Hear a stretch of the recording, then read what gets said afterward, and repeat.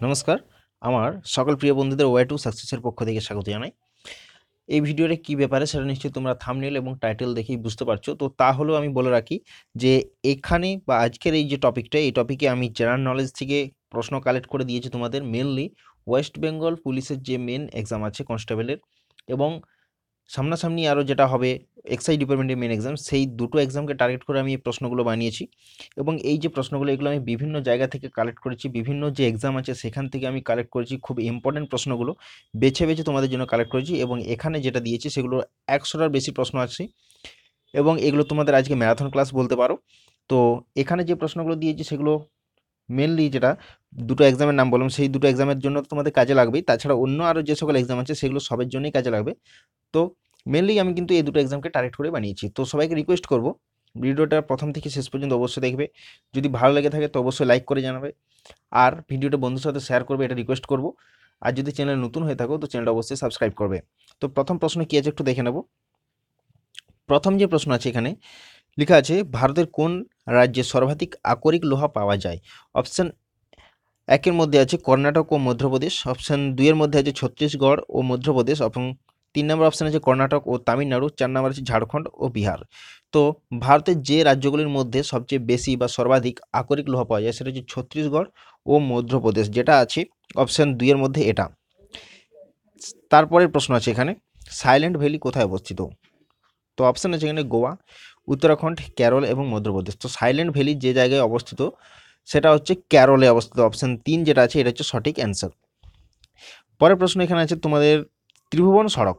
কোথায় অবস্থিত বা কোথায় দেখতে পাওয়া যায়? তো ত্রিভুবন সড়ক যেখানে দেখতে পাওয়া যায়, সেটা হচ্ছে অপশান আছে বাংলাদেশ ও ভারত এবং ভারত ও চীন, ভারত ও নেপাল এবং ভারত এবং পাকিস্তান। তো যে জায়গায় ত্রিভুবন সড়ক দেখতে পাওয়া যায়, সেটা হচ্ছে ভারত ও নেপাল, যেটা অপশান থ্রি আছে, এটা হচ্ছে আমাদের সঠিক অ্যান্সার পরের প্রশ্ন আছে যশো বর্মন কোথাকার রাজা ছিলেন?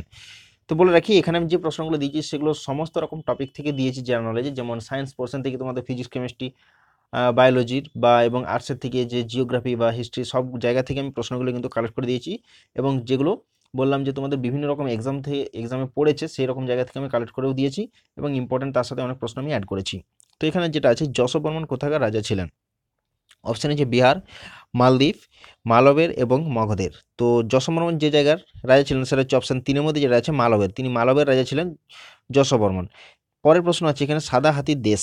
সাদা হাতির দেশ কাকে বলা হয়? তো অপশান একে আছে অস্ট্রেলিয়া, দুই আছে থাইল্যান্ড, তিন আছে কানাডা এবং চার আছে জার্মান। তো যে দেশকে সাদা হাতির দেশ বলা হয়, সেটা হচ্ছে থাইল্যান্ড, যেটা অপশান দুইয়ের মধ্যে আছে, এটা হচ্ছে সঠিক অ্যান্সার। পরের প্রশ্ন আছে কোন হরমোন রক্তচাপ বাড়ে? রক্তচাপ আমাদের যে ব্লাড প্রেশার এই ব্লাড প্রেশারটাকে বাড়িয়ে দেয় কোন হরমোন টেস্টোস্টেরন অ্যাড্রিনালিন ইস্ট্রোজেন এবং প্রজেস্টেরন তো এখানের মধ্যে যেটা অ্যাড্রিনালিন লেখা আছে অপশান দুইয়ের মধ্যে, এটা হচ্ছে সঠিক অ্যান্সার বা অ্যাড্রিনালিন হরমোন আমাদের রক্তের চাপকে বা ব্লাড প্রেশারকে বাড়িয়ে দেয়। পরে আছে দ্বিতীয় চন্দ্রগুপ্ত কোন উপাধি নেন? তো এখানে চারটা অপশান আছে, চারটা অপশান আছে শ্রেণিক দুইয়ের মধ্যে আছে বিক্রমাদিত্য, তিনে আছে অমিত্রাঘাত এবং চার নম্বর আছে অগ্রসেন। তো দ্বিতীয় দ্বিতীয় চন্দ্রগুপ্ত যে উপাধিটি গ্রহণ করেছিলেন, সেটি হচ্ছে বিক্রমাদিত্য, যেটা আমরা দেখতে পাচ্ছি অপশান দুইয়ের মধ্যে। বাকি যে তিনটা এখানে উপাধির কথা বা নাম লেখা আছে, যেমন শ্রেণিক, অমিত্রাঘাত বা অগ্রসেন, এগুলো কোন কোন যারা নিয়েছিলেন সে একটু বলে দিচ্ছি। তো প্রথমে যেটা হচ্ছে শ্রেণিক, তো শ্রেণিক যেটা নিয়েছিলেন সেটা হচ্ছে বিম্বিসার এবং অগ্রসেন যেটা নিয়েছিলেন সেটা অগ্রসেন যেটা নিয়েছিলেন, চার নম্বর আছে এটা হচ্ছে মহাপদ্মনন্দ এবং অমিত্রাঘাত যে রাজা নিয়েছিলেন, সেটা হচ্ছে বিন্দুসার তো শ্রেণীটি বললাম বিম্বিসার এবং এই অমিত্রাঘাত হচ্ছে বিন্দুসার পরের প্রশ্ন এখানে। মৃত্যুর পর পেশি কঠিন হয়ে যাওয়ার কারণ কি? আমাদের যে মাংসপেশি বা কোনো মানুষ যখন মারা যায়, তারপরে এই যে মাংসপেশিগুলো কঠিন হয়ে যায় কেন? বা অসাড় হয়ে যায় কেন? তো অপশান আছে অক্সিজেন কমে যাওয়া কার্বন ডাইঅক্সাইড কমে যাওয়া, তিন নম্বর আছে এটিপি কমে যাওয়া এবং চার নম্বর আছে রক্ত জমাট বেঁধে যাওয়া। তো এখানের মধ্যে যেটা মেন কারণ, আসল কারণ বা যে কারণে আমাদের মৃত্যুর পর পেশিগুলো কঠিন হয়ে যায় সেটা হচ্ছে এটিপি কমে যাওয়া। তো বন্ধুরা, তোমাদেরকে কমেন্টের মধ্যে যেটা জানাতে হবে এটিপি এর ফুল ফর্ম কী? সেটা আমাকে কমেন্টের মধ্যে অবশ্যই জানাবে। পরের প্রশ্ন আছে এখানে। কোন গ্রন্থি হরমোন উৎপাদন করে না? করে না বলেছে এবং চারটা যে অপশান আছে, যেমন লালাগ্রন্থি দু নম্বর আছে যকৃৎ, তিন নম্বর আছে অগ্নাশয় এবং চার নম্বর আছে প্লিহা। তো যে গ্রন্থি থেকে বা গ্ল্যান্ড থেকে কোনো রকম কোনো হরমোন উৎপাদন হয় না বা খরিত হয় না, সেটা হচ্ছে প্লিহা। যেটা অপশান চার আছে, এটা হচ্ছে সঠিক অ্যান্সার পরের প্রশ্ন আছে গুজরাটের তেল শোধনাগার কোনটি? বা গুজরাটের কোন জায়গায় তেল শোধন করা হয়? তো অপশান এ আছে গান্ধীনগর দুইয়ে আছে কয়ালি, তিন আছে চণ্ডীগড় এবং চারে আছে অমরপুর। তো যে জায়গায় তেল শোধন করা হয় গুজরাটে সেই জায়গা হচ্ছে কয়ালি। এটা খুবই একটা পরিচিত জায়গা বা নাম সবাই শুনে থাকবে। এরপরে পরের প্রশ্ন হচ্ছে বঙ্ক্রাইটিস কিসের রোগ? তো অর্থাৎ এখানে যে ব্রঙ্কাইটিস রোগের নামটা বলা হয়েছে, এটা আমাদের শরীরে কোন জায়গাকে আক্রান্ত করে? তো ব্রঙ্কাইটিস যে জায়গাটাকে আক্রান্ত করে, সেটা হচ্ছে আমাদের ফুসফুস বা এখানে সরি ব্রঙ্কাইটিস যেটা আমাদের আক্রান্ত করে, সেটা হচ্ছে শ্বাসনালী অপশান তিন। থ্রি যেটা আছে, এটা হচ্ছে আমাদের সঠিক অ্যান্সার এবং বাকি যে তিনটা যে জায়গা বা অঙ্গের নাম বলা আছে, যেমন এখানে ফুসফুস, যকৃৎ বা হাড়, তো এগুলোকে কোন কোন রোগে আক্রান্ত করে? প্রথমে যেটা আছে ফুসফুস, তো ফুসফুসকে যে রোগ আক্রান্ত করে সেটা হচ্ছে টিবি বা টিউবার কিউলোসিস এবং যকৃৎ যেটা আমাদের লিভার বলি সেটাকে হচ্ছে হ্যাপাটাইটিস বি বা যেটা আমরা জন্ডিস বলে থাকি, এ রোগ আমাদের এই যকৃৎকে আক্রান্ত করে এবং হাড়কে আমাদের আক্রান্ত করে পোলিও রোগ। পরের প্রশ্ন আছে এখানে। কোন ধাতুর আকরিক এর নাম গ্যালেনা? তো এখানে চারটা অপশান হচ্ছে থোরিয়াম তামা, সীসা এবং লোহা। এই যে চারটা অপশান দিয়েছে, এই চারটা অপশানের মধ্যে কোন ধাতুর আকরিকের নাম হচ্ছে গ্যালেনা তো গ্যালেনা হচ্ছে সীসা যেটা, আমরা দেখতে পাচ্ছি তিন নম্বরে। সিসার হচ্ছে আকরিকের নাম গ্যালেনা, যেটাকে সংক্ষেপে বলা হয় পিবি এবং বাকি যেগুলো আছে, যে এখানে থোরিয়াম, থোরিয়ামের এখানে যে আকরিক, সেটা দুটো নাম আছে। একটা উলফ্রা মাইট আছে, একটা সিলাইট আছে এবং যে তামা আছে, তামার যে আকরিক আকরিকের নাম হচ্ছে, সেটা হচ্ছে কপার পাইরাইটিস। পরের প্রশ্ন এখানে যে বৃষ্টিপাতের বৃষ্টিপাতের পরিমাপ করা হয় কী দ্বারা? বা বৃষ্টিপাতের পরিমাণ পরিমাপ এটা কোন যন্ত্রের দ্বারা করা হয়ে থাকে? অপশান আছে হাইড্রোমিটার, হাইগ্রোমিটার রেন গজ এবং পাইরোমিটার। তো বৃষ্টিপাতের পরিমাপ করা হয় যেটা হচ্ছে রেন গজ অপশান থ্রি আছে, এটা হচ্ছে আমাদের সঠিক অ্যান্সার এবং বাকি যেগুলো আছে যেমন হাইড্রোমিটার, হাইড্রোমিটারের সাহায্যে কী পরিমাপ করা হয়? না, হাইড্রোমিটারের সাহায্যে যেটা পরিমাপ করা হয় থাকে সেটা হচ্ছে তরলের যে আপেক্ষিক গুরুত্ব, এটা এবং হাইগ্রোমিটার যেটা আমরা দেখতে পাচ্ছি, এটা যে আর্দ্রতা পরিমাপ করা হয়ে থাকে এবং যেটা পাইরোমিটার, এটা উচ্চ তাপমাত্রা বা হাই যে টেম্পারেচার সেটাকে পরিমাপ করা হয়ে থাকে। এরপরে আছে, ময়ূর সিংহাসন কে তৈরি করেন?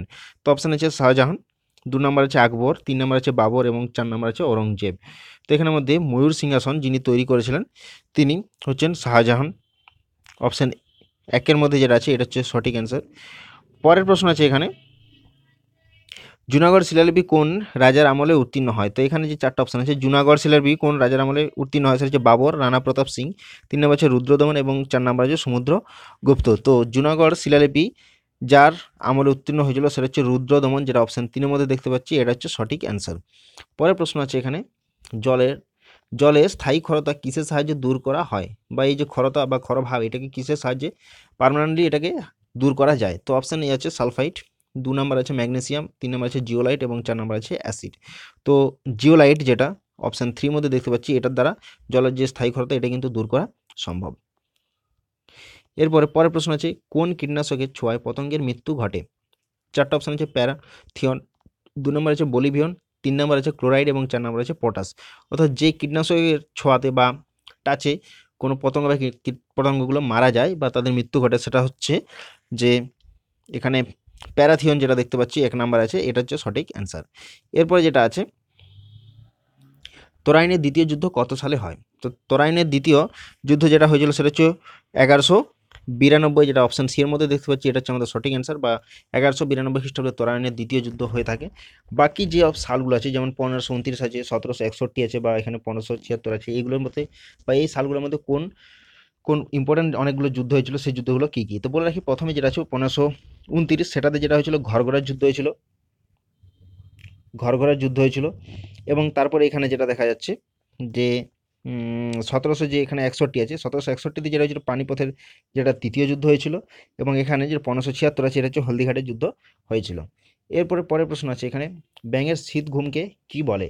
তো এখানে চারটা অপশান আছে, চারটা অপশান হচ্ছে ইন্টারনেশন হাইবারনেশন রেস্টিং বা স্লিপিং স্লিপিং এটা স্পেলিং মিস্টেক হয়েছে। তো ব্যাঙের যে শীত ঘুম, সেটাকে বলা হচ্ছে হাইবারনেশন যেটা আমরা দেখতে পাচ্ছি অপশান দুইয়ের মধ্যে আছে, এটা হচ্ছে আমাদের সঠিক অ্যান্সার পরের প্রশ্ন আছে এখানে, কোন স্তন্যপায়ী প্রাণীর আরবিসি নিউক্লিয়াস যুক্ত? আরবিসি কোথাও হচ্ছে রেড ব্লাড কর্পাসাল বা যেটা আমরা লোহিত রক্তকণিকা বলে থাকি, সেটা। তো এই আরবিসি যুক্ত নিউক্লিয়াস দেখতে পাওয়া যায় কোন স্তন্যপ্রায়ী প্রাণীর মধ্যে? অপশান এ আছে, বা এক নম্বর আছে ঘোড়া, দু নম্বর আছে মানুষ, তিন নম্বর আছে বাদুড় এবং চার নম্বর আছে গাধা।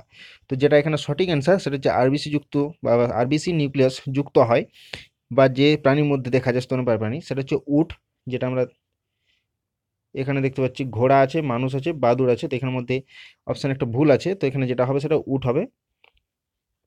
উট হচ্ছে সঠিক অ্যান্সার এরপরে আছে এখানে চালুক্যদের কটি শাখার কথা উল্লেখ আছে?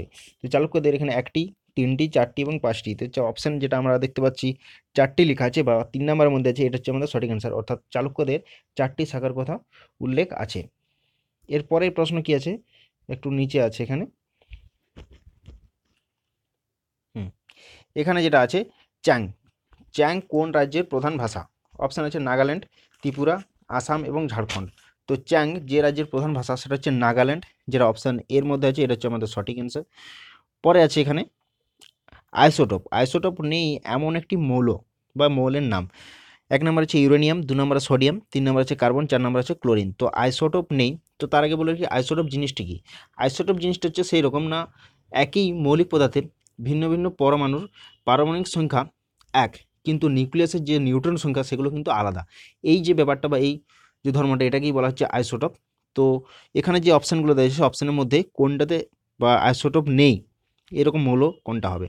তো এখানের মধ্যে আমরা যেটা দেখতে পাচ্ছি, সোডিয়াম যেটা লেখা আছে, দু নম্বরে এটা হচ্ছে আইসোটোপ বিহীন একটা মৌল। এরপরে আছে, পরের প্রশ্ন, জার্মান সিলভারের সিলভারের পরিমাণ কত? বা কত পার্সেন্ট কত শতাংশ থাকে? জিরো শতাংশ, পাঁচ শতাংশ, পঁচিশ শতাংশ বা পঞ্চাশ শতাংশ। তো জার্মান সিলভারের মধ্যে যে সিলভার পরিমাণ সেটা হচ্ছে জিরো পার্সেন্ট এক নাম্বার যেটা আছে, এটা হচ্ছে সঠিক অ্যান্সার এবং বন্ধুদেরকে যেটা কমেন্টের মধ্যে জানাতে হবে, সেটা এই যে জার্মান সিলভার এটা কোন কোন উপাদান নিয়ে তৈরি হবে, গঠিত। সেটা কমেন্টের মধ্যে কিন্তু জানাবে অবশ্যই। পরে আছে এখানে নীল দর্পণ এর রচয়িতা কে ইম্পর্টেন্ট একটা প্রশ্ন আছে ডাব্লিউপি কনস্টেবল মেন এক্সামের জন্য নীল দর্পণ এর রচয়িতা কে তো এক নম্বর আছেন রবীন্দ্রনাথ ঠাকুর, দু নম্বর আছে বিজন ভট্টাচার্য, তিন নম্বর দীনবন্ধু মিত্র এবং চার নম্বর আছে অরবিন্দ ঘোষ। তো খুব একটা কমন প্রশ্ন এবং ইম্পর্টেন্ট প্রশ্ন। তো নীল দর্পণ এর রচয়িতা হচ্ছে দীনবন্ধু মিত্র, যেটা অপশান তিনের মধ্যে দেখতে পাচ্ছি, এটা আমাদের সঠিক অ্যান্সার পরে আছে এখানে বরফ গলনে আয়তন। তো বরফ যদি গলে যায়, সেক্ষেত্রে আমাদের আয়তন কমে যায়, বেড়ে যায়, একই থাকে বা দ্বিগুণ হয়ে যায়। তো এখানের মধ্যে সঠিক যেটা অ্যান্সার হবে, সেটা হচ্ছে বরফ যখন আমাদের গলে যায়, তখন তরলে পরিণত হলে সেটা আমাদের আয়তন কিন্তু কমে যায়। অপশান একে যেটা আছে, এটা সঠিক অ্যান্সার কোন বর্ণের আলোর চ্যুতি সবচেয়ে বেশ সরি কম। কম জানতে চাওয়া হয়েছে, বেশি নয়। এখানে কম জানতে চাওয়া হয়েছে, কোন বর্ণের বা কোন ধরনের রঙের আলোর চ্যুতি সবচেয়ে কম? নীল, লাল এবং তিন নম্বর হচ্ছে হলুদ, চার নম্বর হচ্ছে সাদা। তো যেটা সবচেয়ে কম চ্যুতি, সেটা হচ্ছে লাল বর্ণ, যেটা দু নম্বর অপশনের মধ্যে আছে, এটা সঠিক অ্যান্সার পরের প্রশ্ন আছে, ফিতাকৃমি কোন ধরনের প্রাণী? ফিতাকৃমি, যেটা মানুষের শরীরের মধ্যে বসবাস করে, আমরা জানি, বা অন্য পশুর পশু শরীরের মধ্যে বসবাস করে। তো এই যে প্রাণীটা, এটা কী ধরনের? এটা হচ্ছে মৃতজীবী, অন্তঃপরজীবী, বহিঃপরজীবী বা আংশিক পরজীবী। তো আমরা জানি, এটা শরীরের মধ্যে যেহেতু বসবাস করে। এই জন্য এটা ফিতাকৃমি হচ্ছে অন্ত পরজীবী, যেটা দু নম্বর আছে এটা। কারণ অন্ত কথার অর্থ আমরা জানি যে ভিতরে এবং যেহেতু অন্য বা যে প্রাণীর দেহে বসবাস করে তার উপর নির্ভর করে বেঁচে থাকে, এই জন্য একে পরজীবী বলা হয়। এরপর আছে পৃথিবীর কোথায় সর্বপ্রথম পাতাল রেল চালু হয়? তো এটা জানতে চাওয়া হয়েছে পৃথিবীর মধ্যে। কোশ্চেনটা ভালো করে দেখবে যে পৃথিবীর মধ্যে জানতে চাওয়া হয়েছে এবং অপশান হচ্ছে আমেরিকা, লন্ডন, জার্মান এবং কলকাতাও। তো এখানে পৃথিবীর মধ্যে সর্বপ্রথম যে জায়গায় পাতা রেল চালু হয়েছিল সেটা হচ্ছে লন্ডন, যেটা অপশান দুই আছে, এটা হচ্ছে আমাদের সঠিক অ্যান্সার এবং কমেন্টের মধ্যে যেটা জানাবে সেটা হচ্ছে কত সালে, কোন ইয়ার কত সালে এটা চালু হয়েছিল? এরপরে আছে লেন্সের ক্ষমতা কোন এককে মাপা হয়? তো অপশান আছে নিউটন, ডায়াপ্টার, অ্যাঙ্গেল অ্যাক্সিস তো লেন্সের ক্ষমতা পরিমাপ করা হয় ডায়াপ্টার, যেটা অপশান দু আছে, দুইয়ের আছে, এটা হচ্ছে আমাদের সঠিক অ্যান্সার বা ডায়াপ্টারের সাহায্যে লেন্সের ক্ষমতা পরিমাপ করা হয়ে থাকে। এরপরে আছে বিসিজি টিকা কেন দেওয়া হয়? বিসিজি টিকা কী কারণ দেওয়া হয়? তো বা কোন রোগকে আটকানোর জন্য দেওয়া হয়? পোলিও যক্ষা ধনুষ্টঙ্কার জন্ডিস। তো যেটা আমরা যক্ষা যেটা বললাম বা যেটা আগে বললাম যে টিবি টিউবারকুলোসিস এই রোগটাকে আটকানোর জন্য বা এই রোগের প্রতিষেধক হিসাবে বিসিজি টিকা দেওয়া হয়ে থাকে। পরে আছে এখানে ইউয়ান কোন দেশের মুদ্রা? এই যে কারেন্সি ইউয়ান এটা কোন দেশের? তো ইউয়ান হচ্ছে কোন দেশের এখানে? আফগানিস্তান, জাপান, চীন এবং ঘানা। তো এখানে তিন নম্বরে যেটা আছে চীন। চীনের যে মুদ্রা সেটাকে বলা হচ্ছে ইউয়ান এবং বাকি যে নামগুলো আছে, যেমন আফগানিস্তান আছে, জাপান আছে এবং ঘানা আছে, তো এগুলো বলে রাখি যে আফগানিস্তান, আফগানিস্তানের যে ক্যাপিটাল, সেই ক্যাপিটাল বা রাজধানীর নাম হচ্ছে কাবুল এবং এখানের যে কারেন্সি বা যে মুদ্রা প্রচলন আছে, সেটা হচ্ছে আফগান এবং তারপরে আছে ঘানা। তো ঘানার যেটা ক্যাপিটাল, সেটা হচ্ছে এখানে আক্রা এবং এখানে ঘানানিয়ান, সেডি, এটা হচ্ছে কারেন্সি এখানের, এবং জাপান, জাপানের যে ক্যাপিটাল বা রাজধানী সেটা হচ্ছে টোকিও, এবং এখানে যেটা কারেন্সি চলে সেটা জাপানি ইয়েন ওয়াই ই এন পরের প্রশ্ন হচ্ছে গোবি কি? এই যে নামটা গোবি, এটা কিসের নাম? একটা জলাভূমির, একটি মরুভূমির নাম, একটি হ্রদের নাম, একটি মালভূমির নাম। তো গোবি আমরা জানি মরুভূমি এটা মরুভূমির নাম এবং কোথায় অবস্থিত এটা? চীনে। অবস্থিত এবং চীনের সাথে সাথে যে মঙ্গোলিয়ার যে দক্ষিণ অংশ আছে সেই দিকে এটা অবস্থিত। এরপরে পরের প্রশ্ন আছে এখানে। পানীয় জল অর্থাৎ যে ড্রিঙ্কিং ওয়াটার আমরা যে জলটা পান করি সেটাতে পিএইচ কত হওয়া উচিত? তো অপশানে আছে টু পয়েন্ট ফাইভ থেকে ফোর পয়েন্ট ফাইভ অপশান দুইয়ের মধ্যে আছে ফোর পয়েন্ট ফাইভ থেকে ফাইভ পয়েন্ট ফাইভের মধ্যে এবং অপশান থ্রি আছে সিক্স পয়েন্ট ফাইভ থেকে এইট পয়েন্ট ফাইভ এবং চার নাম্বার আছে সেভেন পয়েন্ট ফাইভ থেকে নাইন পয়েন্ট ফাইভ অর্থাৎ আমাদের ড্রিঙ্কিং ওয়াটার বা পানীয় জলের যেটা উচিত মাত্রায় যেটা পিএইচ হওয়া উচিত, সেটা হচ্ছে সিক্স পয়েন্ট ফাইভ থেকে এইট পয়েন্ট ফাইভ যেটা অপশান তিনের মধ্যে দেখতে পাচ্ছি এটা। এবং আমরা জানি যে যদি এটা লেস দ্যান সেভেন হয়ে যায়, তাহলে সেক্ষেত্রে সেটা কিন্তু অ্যাসিড হয়ে যায়। এবং যদি এটা বেশি, অর্থাৎ গ্রেটার দেন যদি সেভেন পিএইচের মাত্রা হয়, সেক্ষেত্রে এটা কিন্তু ক্ষার হয়ে যায়। পরের যে প্রশ্ন আছে কোন পদার্থ খোলা অবস্থায় সরাসরি বাষ্পে পরিণত হয় বা হয়ে যায়? তো এটা সবারই একটা জানা প্রশ্ন। তো এক নম্বর আছে লবণ, দু নম্বর আছে কর্পূর, তিন নম্বরে মোম এবং চার নম্বর আছে সিলিকন। অর্থাৎ এখানে যেটা কর্পূর লেখা আছে দু নম্বরে, এটা হচ্ছে সঠিক অ্যান্সার কারণ আমরা জানি কর্পূরকে খোলা বাতাসের মধ্যে রাখলে সরাসরি এটা কিন্তু বাষ্পে পরিণত হয়ে উড়ে যায়। এরপরে আছে পরের প্রশ্ন। আরবিসি আরবিসি ফুল ফর্ম আমি বললাম রেড ব্লাড কর্পাসেল এটা কোথায় উৎপন্ন হয়? তো লোহিত অস্থিমজ্জা আছে, দু নম্বর আছে তরুণ তরুণাস্থি আছে, তিন নম্বর যকৃত এবং চার নম্বর আছে হরিদ্রা অস্থিমজ্জা। তো এখানে যে অপশানটা আছে যেটা, লোহিত যে অস্থিমজ্জা, এক নম্বরে যেটা আছে এইটা আমাদের সঠিক অ্যান্সার পর প্রশ্ন শব্দের যে প্রাবল্য, সেই প্রাবল্যের এককে কি বলা হয়? তো ওহম, ফ্যারাডে, ডেসিবেল এবং পাস্কাল। তো সবাই জানো এটা, খুবই একটা কমন প্রশ্ন, আবারও আগের মতোই। তো শব্দের যে প্রাবল্য, সেটাকে বলা হচ্ছে ডেসিবেল, যেটা তিন নম্বরে আছে। বাকি যেগুলো আছে, যেমন ওহম ফ্যারাডে বা পাস্কাল এগুলো কী বা কিসের একক? তো ওহম যেটা আছে, এটা হচ্ছে রোধের, রোধ, এটা হচ্ছে এসআই এসআই একক এবং যে পাস্কাল পাস্কাল এটা হচ্ছে চাপের একক বা প্রেসারের জন্য বলা হয় এবং কমেন্টের মধ্যে যেটা জানাবে সেটা ফ্যারাড বা ফ্যারাডি জিনিসটা কী? এরপরে আছে কুইক সিলভার কুইক সিলভার কোন মৌলকে বলা হয়ে থাকে? তো এখানে অপশান আছে অ্যালুমিনিয়াম দু নম্বর আছে তামা, তিন নম্বর আছে লোহা এবং চার নম্বর আছে পারদ। তো কুইক সিলভার যেটা বলা হয়ে থাকে সেটা হচ্ছে পারদকে বলা হয়ে থাকে, যেটা চার নম্বর অপশান আছে এটা। এরপরে যে মাটিতে নাইট্রোজেন আবদ্ধ করে, মাটির মধ্যে নাইট্রোজেনের পরিমাণকে বা নাইট্রোজেনকে আবদ্ধ বা ধরে রাখে কোনটা?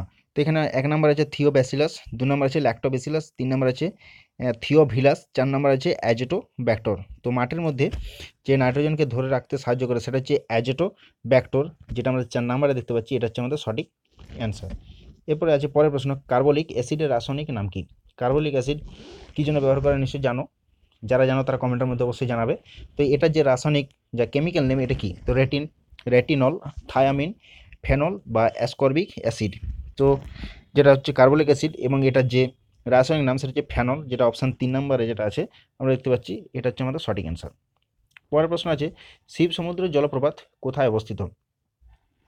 গোদাবরী বা কোন নদীর এটা উপর অবস্থিত? গোদাবরী, কাবেরী, কৃষ্ণা এবং মহানদী। তো এটা কাবেরী নদী, যেটা আমরা দেখতে পাচ্ছি এখানে অপশান দুই আছে, দু নম্বর। কাবেরী নদীর উপর শিব সমুদ্র যে জলপ্রপাত, সেটা কিন্তু অবস্থিত। পরের প্রশ্ন আছে, একটু নিচে আছে এখানে। হুম। পরের প্রশ্ন আছে এখানে সায়েন্স থেকে আছে। তো বল ও স্মরণের গুণফলকে কি বলা হয়ে থাকে? তো বল ও স্মরণের গুণফলকে বলা হয়ে থাকে যেটা কার্য চার নাম্বার আছে, দেখতে পাচ্ছি। এটা হচ্ছে আমাদের সঠিক অ্যান্সার পরের প্রশ্ন আছে এখানে, মানবদেহের কোন গ্রন্থিকে অ্যাডামস অ্যাপেল বলা হয়ে থাকে? তো মানবদেহের কোন গ্রন্থিকে অ্যাডামস অ্যাপেল বলা হয়ে থাকে? যকৃৎ, অগ্নাশয়, থাইরয়েড এবং পিটুইটারি। তো আমাদের যে থাইরয়েড গ্রন্থি, তিন নাম্বারে যেটা দেখতে পাচ্ছি, এটা হচ্ছে থাইরয়েড গ্রন্থি এবং সেটা বলা হয়ে থাকে অ্যাডামস অ্যাপেল। তো কমেন্টের মধ্যে যেটা জানাতে হবে, সেই এই যে অ্যাডামস অ্যাপেল বা যে থাইরয়েড যে গ্ল্যান্ড এটা আমাদের শরীরে কোন জায়গায় অবস্থিত এবং এটা থেকে কি খরিত হয়? পরে আছে আধুনিক শিল্পদানব বলা হয় কোনটিকে। তো এখানে যেটা আছে পেট্রো রাসায়নিক, দু নম্বর আছে জাহাজ তৈরি শিল্প, তিন নম্বর আছে মোটর শিল্প এবং চার নম্বর আছে লৌহ ইস্পাত শিল্প।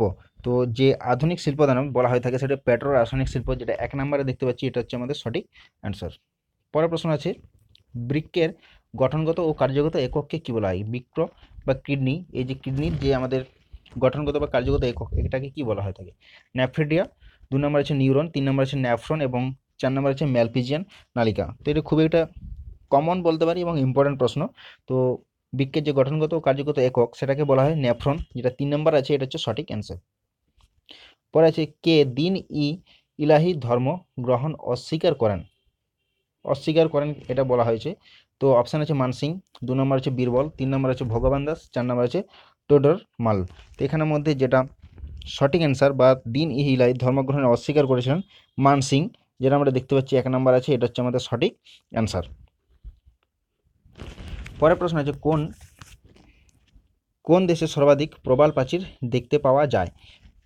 এক নম্বর আছে উত্তর আমেরিকা, দু নম্বর দক্ষিণ আমেরিকা, তিন নম্বর আছে পশ্চিম অস্ট্রেলিয়া এবং চার নম্বর আছে ভারত।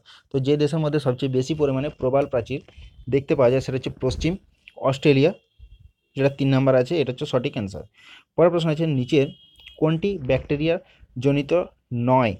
অর্থাৎ ব্যাকটেরিয়া থেকে হয় না। তো এক নম্বর আছে আমাশয়, দু নম্বর কলেরা তিন নম্বর আছে পোলিও চার নম্বর আছে টাইফয়েড তো চারটা যে অপশান আছে, সেটা হচ্ছে পোলিও যেখানে লেখা আছে, তিন নম্বর অপশান এটা এটা ব্যাকটেরিয়া জনিত নয়। এরপরে পরের প্রশ্ন আছে new lamps of old, new lamps of old প্রবন্ধটি কার লেখা?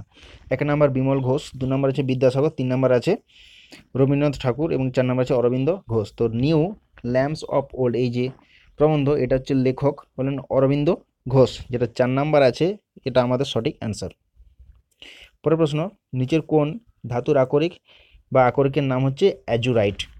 আগে আমি কতগুলো আরও একটা এরকম আকরিকের নামের থেকে ছিল। তো যাই হোক, এখানে একই ধরনের প্রশ্ন আছে। তো এখানে নিচের মধ্যে যে চারটা অপশান আছে, সেই চারটা অপশানের মধ্যে বা ধাতুগুলোর মধ্যে কোনটার আকরিকের নাম অ্যাজুরাইট এক নম্বর আছে কপার দু নম্বর জিঙ্ক তিন নম্বর আছে টিন এবং চার নম্বর আছে ম্যাগনেসিয়াম তো অ্যাজুরাইট যেটা, সেটা হচ্ছে কপার এক নম্বরে যে অপশানটা আছে, এটা হচ্ছে আমাদের সঠিক অ্যান্সার পরের প্রশ্ন আছে কোনটি কালিদাসের রচনা নয়? এই যে চারটা অপশন দিয়েছে চারটা অপশনের মধ্যে কোনটা নয় সেটা জিজ্ঞেস করা হয়েছে। এক নম্বর আছে কুমার সম্ভব বা কুমার সম্ভবম, দু নম্বর আছে রঘুবংশম, তিন নম্বর আছে মেঘ প্রিয় এবং চার নম্বর আছে ঋতু সংহার। তো কালিদাসের যেটা রচনা নয়, সেটা হচ্ছে এখানে মেঘপ্রিয় যেটা তিন নম্বর আছে, এটা কালিদাসের রচনা নয়। বাকি যে তিনটা অপশন আছে, কুমার সম্ভব, রঘুবংশম বা ঋতু সংহার, এগুলো সবগুলোই কালিদাসের রচনা। পরের প্রশ্ন আছে ভারতের কোন রাজ্যে সর্বাধিক বনভূমি দেখতে পাওয়া যায়? উত্তরপ্রদেশ, মধ্যপ্রদেশ, পশ্চিমবঙ্গ, তো কেরালা। তো যে জায়গায় সবচেয়ে বেশি পরিমাণে দেখতে পাওয়া যায় বনভূমি, সেটা হচ্ছে মধ্যপ্রদেশ। দু নম্বর, এটা হচ্ছে সঠিক অ্যান্সার পরের প্রশ্ন হচ্ছে ভিটামিন সি এর অপর নাম কি? Folic acid. দু নম্বর আছে অ্যাসকর্বিক অ্যাসিড তিন নম্বর আছে রাইবোফ্লেভিন এবং চার নম্বর আছে সাইট্রিক অ্যাসিড তো ভিটামিন সি এর যে অপর নাম, সেটা হচ্ছে সাইট্রিক অ্যাসিড যেটা চার নম্বর অপশনের মধ্যে আমরা দেখতে পাচ্ছি। বাকি যেগুলো আছে, ফলিক অ্যাসিড, অ্যাসকর্বিক অ্যাসিড বা রাইবোফ্লেভিন, এগুলো কোন কোন ভিটামিনের অপর নাম? তো প্রথমে যেটা আছে ফলিক অ্যাসিড, এটা বলে রাখি, ভিটামিন যে বি নাইন বা ভি এম এটার রাসায়নিক নাম এবং অ্যাসকর্বিক অ্যাসিড তো ভিটামিন সি বললাম এবং রাইবোফ্লেভিন যেটা, ভিটামিন হচ্ছে বি টু বি টু এর রাসায়নিক নাম হচ্ছে রাইবোফ্ল্যাভিন পরের প্রশ্ন আছে এখানে, মানব দেহের স্বাভাবিক উষ্ণতা কত? তো এখানে এটা খুবই একটা ইজি প্রশ্ন আছে। তো এখানে যেটা আছে মানব দেহের স্বাভাবিক উষ্ণতা বা তাপমাত্রা, সেটা হচ্ছে ninety eight point four ninety eight point four যেটা আছে ডিগ্রি ফারেনহাইট অপশন দুইয়ের মধ্যে যেটা আছে এটা সঠিক অ্যান্সার পরের প্রশ্ন আছে a writer's people a writer's people কার লেখা? এক নম্বর অপশন আছে বিক্রম সেট দু নম্বর ঝুম্পা লাহিড়ি, তিন নম্বর আছে ভি এস নয়পাল এবং চার নম্বর আছে অরুন্ধতী রায়। তো এখানে এ রাইটার্স পিপিল যার লেখা বা এটা যার দ্বারা লেখা হয়েছে সেটা হচ্ছে ভি এস নয়পাল। তিন নম্বর যেটা আছে, এটা সঠিক অ্যান্সার পরের প্রশ্ন আছে গৌতম বুদ্ধ কোথায় দেহত্যাগ করেন? পাটনা এটা একটু ভুল আছে, মগধ এবং কুশিনগর এবং চার নম্বর আছে, কৌশল। তো যে জায়গায় তিনি দেহত্যাগ করেছিলেন, সেটা হচ্ছে কুশিনগর তিন নম্বর যেটা আছে, এটা সঠিক অ্যান্সার পরের প্রশ্ন আছে ভারতের প্রথম উপগ্রহ কোনটি? অপশান এ আছে, বানভট্ট অপশান বি আছে, আর্যভট্ট, তিন নম্বর আছে, চন্দ্রযান এবং চার নম্বর আছে, কৈলাস। ভারতের প্রথম যে উপগ্রহ, সেটা হচ্ছে আর্যভট্ট। দু নম্বর যেটা আছে, সঠিক অ্যান্সার এর পরের প্রশ্ন যেটা আছে,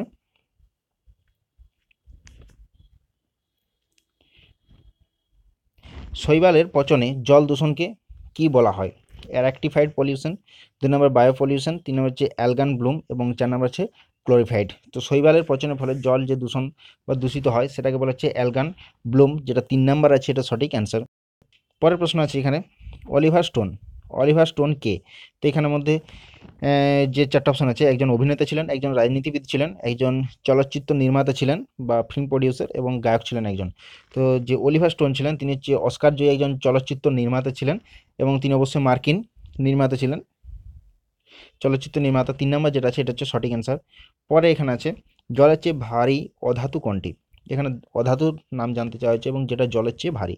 তো অপশান এ আছে কার্বন, দু নম্বর আছে সালফার, তিন নম্বর আছে হাইড্রোজেন এবং চার নম্বর আছে আয়োডিন। তো মধ্যে সেটা সঠিক অ্যান্সার যেটা, আয়োডিন চার নম্বরে আমরা দেখতে পাচ্ছি এটা অধাতু এবং জলের চেয়ে ভারী। পরের প্রশ্ন আছে গুজরাটের প্রধান বন্দর কোনটি? তো এক নম্বর আছে সুরাট, দু নম্বর আছে পারাদ্বীপ, তিন নম্বরে কোচি, চার নম্বর আছে কান্ডালা। তো গুজরাটের মধ্যে প্রধান যেটা বন্দর সেটা হচ্ছে সুরাট হবে এক নম্বরে। বাকি যেগুলো আছে, যেমন পারাদ্বীপ, কোচি বা কান্ডালা, এগুলো কোন কোন জায়গায় অবস্থিত? তো বলে রাখি এখানে পারাদ্বীপ যেটা আছে, এটা হচ্ছে ওড়িশা। ওড়িশাতে এটা অবস্থিত। পরে যেটা আছে কোচি কোচি এটা হচ্ছে কেরালাতে অবস্থিত। এবং যেটা কান্ডালা আছে, এটা কোন জায়গায় সেটা অবস্থিত, সেটা কিন্তু তোমাদেরকে কমেন্টের মধ্যে জানাতে হবে। এবার নিচের কোনটি সব থেকে হালকা এবং নিষ্ক্রিয়? তো এক নম্বর আছে হাইড্রোজেন, দু নম্বর অক্সিজেন, তিন নম্বর আছে নাইট্রোজেন এবং চার নম্বর আছে হিলিয়াম। তো নিচের যে চারটা অপশান আছে, চারটা অপশানের মধ্যে যেটা হচ্ছে হালকা এবং নিষ্ক্রিয়, সেটা হচ্ছে হিলিয়াম যেটা দেওয়া আছে চার নম্বর অপশানের মধ্যে এটা। এরপরে আছে, কবে কোথায় গদর পার্টি প্রতিষ্ঠিত হয়? এক নম্বর আছে উনিশশো এক আমেরিকাতে, উনিশশো তেরো আমেরিকাতে, উনিশশো তিরিশ লন্ডন এবং উনিশশো পঁয়ত্রিশে আছে ভারতে। তো গদর পার্টি প্রতিষ্ঠিত হয়েছিল উনিশশো তেরোতে এবং যেটা প্রতিষ্ঠিত হয়েছিল আমেরিকাতে। কে প্রতিষ্ঠা করেছিল? না, লালা হরদয়াল। পরের প্রশ্ন আছে সাতবাহনরা সবচেয়ে বেশি কোন মুদ্রা ব্যবহার করতো বা তাদের সময় কোন বেশি মুদ্রার বেশি প্রচলন ছিল? সেটা হচ্ছে সিসার। দু নম্বরে যেটা আছে সিসার। এবং তারা যে কখন রাজত্ব করতো, সেটা হচ্ছে খ্রিস্টপূর্বাব্দ সাতাশ অব্দ পরের প্রশ্ন আছে এখানে, থার্মিট পদ্ধতিতে কোন ধাতু নিষ্কাশন করা হয়ে থাকে বা থার্মিট যে পদ্ধতি, এটা কোন ধাতু নিষ্কাশনের পদ্ধতি? এক নম্বর আছে তামা, দু নম্বর লোহা, তিন নম্বর ব্রোঞ্জ এবং চার নম্বর আছে ইস্পাত। তো এখানে থার্মিট যে পদ্ধতি, যে ধাতু নিষ্কাশন করা হয়ে থাকে, সেটা হচ্ছে লোহা। অপশান যেটা দুইয়ের মধ্যে আছে, এটা সঠিক অ্যান্সার পরের প্রশ্ন আছে হাইড্রোলিক প্রেস যন্ত্রের কার্যনীতি কিসের সঙ্গে যুক্ত বা কিসের উপর নির্ভর করে এটা প্রতিষ্ঠিত হয়েছে? তো হাইড্রোলিক প্রেস এটা হচ্ছে যে পাস্কাল, পাস্কালের যে সূত্র দু নম্বর যেটা আছে অপশান এটার উপর নির্ণয় করে বা এটার উপর কার্যনীতিটা নির্ভর করে থাকে। এবং এই যে ফেরালো সূত্র, এটা কিন্তু কিসের উপর নির্ভর করা হয় সেটা কমেন্টের মধ্যে জানাতে হবে। পরের যে প্রশ্ন আছে পশ্চিমবঙ্গের কোন জেলায় সবচেয়ে বেশি মালভূমি দেখতে পাওয়া যায়? এক নম্বর বাঁকুড়া, দু নম্বর আছে বীরভূম, তিন নম্বর আছে দার্জিলিং এবং চার নম্বর আছে পুরুলিয়া। তো পশ্চিমবঙ্গের যে জেলার মধ্যে সবচেয়ে বেশি পরিমাণে মালভূমি অঞ্চল দেখতে পাওয়া যায় সেটা হচ্ছে পুরুলিয়া এবং চার নম্বর অপশানের মধ্যে যেটা আছে, এটা সঠিক অ্যান্সার পরের প্রশ্ন আছে, কোন রশ্মি সব থেকে বেশি বিপজ্জনক? যে চারটা নাম দেওয়া আছে, আলফা, বিটা, গামা এবং এক্স রে তো এই চারটার মধ্যে যেটা সবচেয়ে বেশি পরিমাণে আমাদের কাছে ডেঞ্জারাস বিপজ্জনক সেটা হচ্ছে গামা রে তিন নাম্বার যেটা এবং কত সালে এটা কিন্তু প্রতিষ্ঠ মানে খোঁজ করা হয়েছিল ফাউন্ড করা হয়েছিল, সেটা হচ্ছে eighteen ninety five eighteen ninety five এবং কমেন্টের মধ্যে যেটা জানাতে হবে সেটা কে এটা কিন্তু খোঁজ করেছিলেন। এরপরে পরের প্রশ্ন আছে, প্রাচীন ভারতের বিশিষ্ট আইন প্রণেতা কে ছিলেন? এক নম্বর আছে পানিনি, দু নম্বর কৌটিল্য, তিন নম্বর আছে বীরবল এবং চার নম্বর আছে মনু। তো প্রাচীন ভারতের বিশিষ্ট যে আইন প্রণেতা ছিলেন, তিনি হচ্ছেন মনু। চার নম্বর যেটা আছে, এটা হচ্ছে সঠিক অ্যান্সার এবং কমেন্টের মধ্যে যেটা জানাতে হবে, সেটা হচ্ছে কৌটিল্য যেটা লেখা আছে, দু নম্বর। এই কৌটিল্য লেখা একটি বই বা একটি বিখ্যাত বই, সেই বিখ্যাত বইটির নাম কি, সেটা কমেন্টের মধ্যে অবশ্যই জানাবে। পরের প্রশ্ন আছে হীরাকুদ বাঁধ কোন নদীর উপর অবস্থিত? অপশান আছে ব্রহ্মপুত্র কৃষ্ণা, মহানদী এবং কাবেরী তো হীরাকুদ বাঁধ যে নদীর উপর অবস্থিত, সেটা হচ্ছে মহানদী, যেটা অপশান তিনের মধ্যে দেখতে পাচ্ছি এটা। এবং মনে রাখবে এটা যে হীরা হীরা অনেক মূল্যবান এবং সেটা মহামূল্যবান। এইভাবে মনে রাখবে যে হীরাকুদ এবং সেটা মহানদীর উপর অবস্থিত। পরের প্রশ্ন আছে এখানে মৎস্য উৎপাদন করাকে কি বলা হয়? হর্টিকালচার, পিসিকালচার, সেরিকালচার এবং ওরিওকালচার। তো মৎস্য উৎপাদন করাকে যেটা বলা হয়ে থাকে, সেটা হচ্ছে পিসিকালচার পিসিকালচার যেটা লেখা আছে এখানে। দু নম্বরে এটা হচ্ছে মৎস্য উৎপাদন করার পদ্ধতিকে বলা হয়ে থাকে। পরে আছে বাগিচা। বাগিচা শহর কাকে বলা হয়? এক নম্বর আছে ব্যাঙ্গালোর, দু নম্বর দার্জিলিং, তিন নম্বর মহারাষ্ট্র এবং চার নম্বর আছে কেরল। তো বাগিচার যে শহর বলা হয়ে থাকে সেটা হচ্ছে ব্যাঙ্গালোর, যেটা এক নম্বর আছে, এটা হচ্ছে সঠিক অ্যান্সার পরের প্রশ্ন আছে, টিক্কা রোগ কোন উদ্ভিদে হয় বা কোন গাছের মধ্যে দেখতে পাওয়া যায়? টিক্কা নামের এই যে রোগটা, ধান, গম, বাদাম এবং পোস্ত, এই টিক্কা রোগ দেখতে পাওয়া যেটা সেটা হচ্ছে বাদাম গাছের মধ্যে অপশান থ্রি আছে, এটা সঠিক অ্যান্সার পরে আছে গাছের বৃদ্ধি মাপার জন্য বা যে উদ্ভিদের যে গ্রোথটা, এটাকে পরিমাপ করা হয় কোন যন্ত্রের সাহায্যে। তো এক নম্বর আছে অ্যানিমোমিটার, দু নম্বর আছে পায়রোমিটার তিন নম্বর আছে ব্যারোমিটার এবং চার নম্বর আছে গ্যালভানোমিটার। তো গাছের বৃদ্ধি পরিমাপ করা হয় যেটা হচ্ছে এখানের মধ্যে যে এগুলো আছে অপশানগুলো যে অ্যানিমোমিটার পায়রোমিটার ব্যারোমিটার, গ্যালভানোমিটার। তো এগুলোর মধ্যে কোথাও একটা ভুল আছে। হ্যাঁ এখানের মধ্যে সঠিক যেটা হবে সেটা হচ্ছে অক্সানোমিটার হবে। অক্সানোমিটার যেটা গাছের বৃদ্ধি পরিমাপ করা হয়ে থাকে এবং এখানে বাকি যে নামগুলো দেওয়া আছে, যেমন অ্যানিমোমিটার আছে পায়রোমিটার এগুলোর সাহায্যে কী সাহায্যে কী কী পরিমাপ করা হয় বলে দিচ্ছি। তো এখানের মধ্যে যেটা অ্যানিমোমিটার আছে অ্যানিমোমিটার সাহায্যে বাতাসের যে গতিবেগ সেটা পরিমাপ করা হয়ে থাকে। পায়রোমিটার যেটা আছে পাইরোমিটার সাহায্যে যেটা সূর্যের তাপমাত্রা পরিমাপ করা হয়ে থাকে এবং ব্যারোমিটার যেটা আছে সেটা হচ্ছে বায়ুচাপ পরিমাপ করা হয়ে থাকে। পরের প্রশ্ন আছে, এখানে বিশ্ব বিশ্ব বন দিবস কত তারিখে পালিত হয় বা কত তারিখে পালন করা হয়ে থাকে? একুশে মার্চ, তেইশে সেপ্টেম্বর, পাঁচই জুন এবং কি? এটা ভুল আছে একটু। ফেব্রুয়ারি হবে এটা মিস্টেক হয়েছে একটু। তো যাই হোক, বিশ্ব বন দিবস পালন করা হয়ে থাকে একুশে মার্চ, যেটা দেখতে পাচ্ছি এক নম্বর অপশানের মধ্যে আছে এটাতে। এবং যে তেইশে সেপ্টেম্বর আছে, তেইশে সেপ্টেম্বর দিনটাকে বলা হয়ে থাকে জল বিশুভ। এবং পাঁচই যে জুন আছে, এটাকে বলা হচ্ছে বিশ্ব পরিবেশ দিবস হিসেবে পালন করা হয়। আর এখানে হ্যাঁ এটা সরি এখানে এক নাম্বার এটা যেটা আছে এটা ফেব্রুয়ারি নয়, এটা হবে একই ডিসেম্বর হবে এবং এই একই বা ফার্স্ট ডিসেম্বর এটাকে বিশ্ব এইডস বা ওয়ার্ল্ড এইডস দিবস হিসাবে পালন করা হয়ে থাকে। পরের প্রশ্ন আছে ভারতের সবুজ বিপ্লবের জনককে তো ভারতের সবুজ বিপ্লবের জনক যাকে বলা হয় থাকে নানা পাটেকর, মেধা পাটেকর, এম এস স্বামীনাথন এবং চার নম্বর আছে রা- বিহার রাসবিহারী বসু। তো ভারতের সবুজ বিপ্লবের জনক বলা হয়ে থাকে এম এস, যে স্বামীনাথন।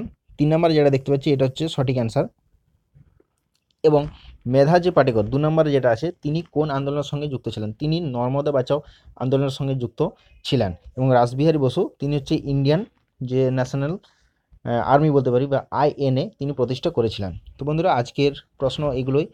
এগুলো একশোটার থেকে বেশি প্রশ্ন আছে ইম্পর্টেন্ট প্রশ্ন আছে, যেগুলো তোমাদের এই সামনে যে এক্সাম আছে, সেগুলোর জন্য খুব ইম্পর্টেন্ট বা খুব ভালো কাজে লাগবে এবং এখান থেকে তোমরা অনেক প্রশ্ন কমন পেয়ে যাবে। শেষে সবাইকে একটা রিকোয়েস্ট করব, যদি ভিডিওটা ভালো লাগে তো অবশ্যই লাইক করে জানাও। বন্ধুর সাথে শেয়ার করো, এটা রিকোয়েস্ট করছি এবং চ্যানেলটা যদি এখনও সাবস্ক্রাইব না করে থাকো, তো চ্যানেলটা অবশ্যই সাবস্ক্রাইব করো।